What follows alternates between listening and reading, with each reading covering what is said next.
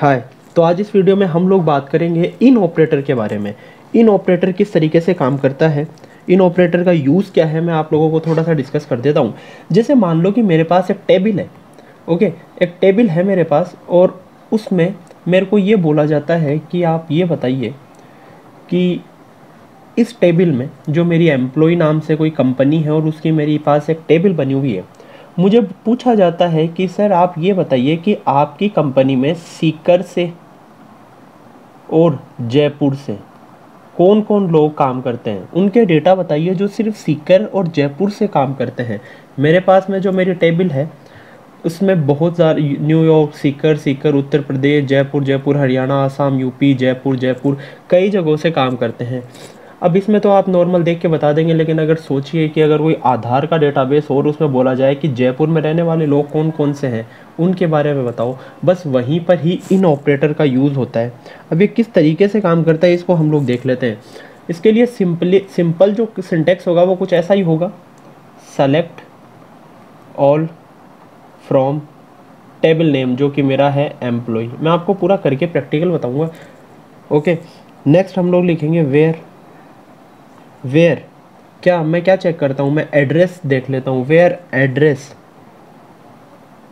Address in और अंदर देंगे हम लोग कंडीशन जो भी हमें दिखनी है, जैसे सीकर एंड जयपुर। अब मेरे पास में जो टेबल बन के आएगी, उसमें उन लोगों के डेटा रहेंगे। उन लोगों के डेटा रहेंगे जो सीकर और जयपुर में रहते हो।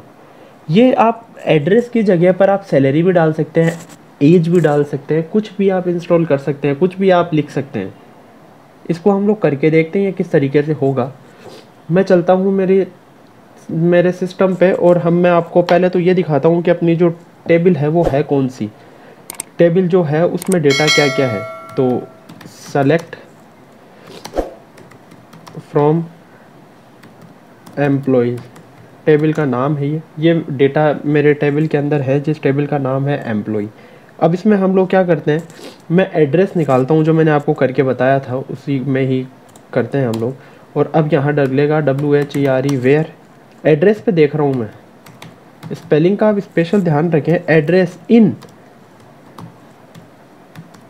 सीकर मतलब इन मतलब कि सीकर में हो, वो और जयपुर में हो।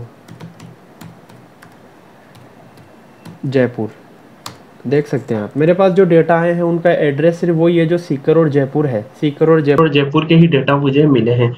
तो इस तरीके से हम लोग ये कर सकते हैं। अब ये ये यूज़ कहाँ आता है? अगर मान लो कि कोई कंपनी है, या फिर अगर कोई स्कूल है और उससे पूछा जाता है कि उन स्टूडेंटों के नाम चाहिए, उन स्टूडेंटों के ही डिटेल चाहिए, जो आउट ऑफ़ स्टेट है, या कोई स्पेशल स्टेट जैसे मैंने बोल दिया कि कोई, है ना, राजस्थान का है, कोई महाराष्ट्र का है, या कोई अगर मैं बोलता हूँ कि सीकर जगह है, कोई जयपुर जगह से है, कोई अलवर जगह से है, उन्हीं का ही डेटाबेस मुझे चाहिए तो ये इस तरीके से हम लोग कर सकते हैं। अब इसमें एक चीज़ और होती है, मुझे कंप्लीट वैल्यू नहीं लेकर मुझे सिर्फ़ डिटेल चाहिए ऐसे स्टूडेंट की, जो सीकर में रहता है, सीकर में रहता है।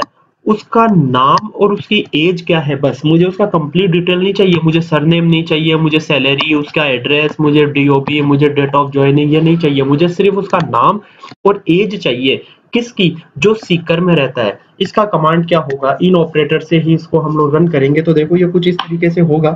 तो मैं लिखूँगा सेलेक्ट करो। ऑल नहीं। मुझे क्या चाहिए? मुझे नेम चाहिए। एंड नेम और क्या चाहिए मुझे?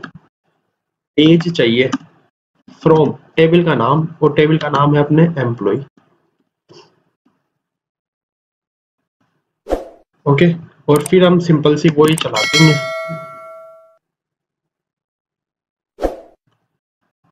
Address in